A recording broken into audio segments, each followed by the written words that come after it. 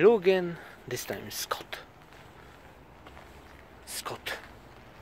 Let's start from the front. Xter brakes, pretty nice. Lock mechanism for this Fox on the handlebar. Oh.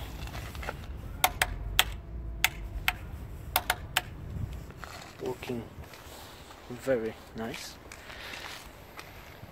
Xter brakes, the old version, and SRAM X7 shifters. Syncros uh, handlebar, which is pretty wide. Fox 29 float with uh, 9 axle, so it's not 15, just just 9. Pretty standard Shimano disc brakes. Don't recommend them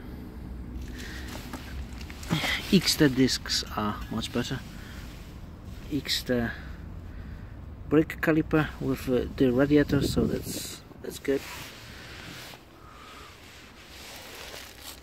DT Swiss uh, wheel,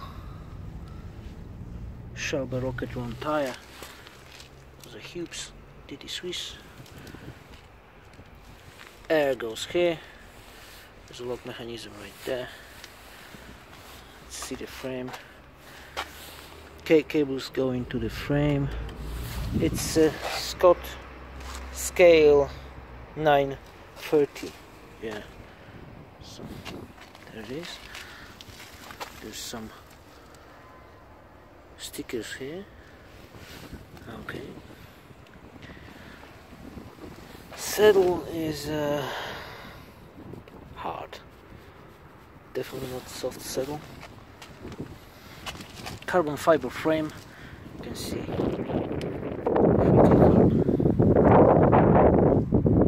Yeah. Let's see on the side for this bike. Cool colors.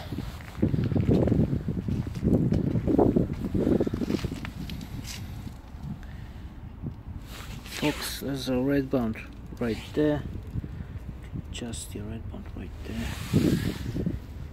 There's the cube.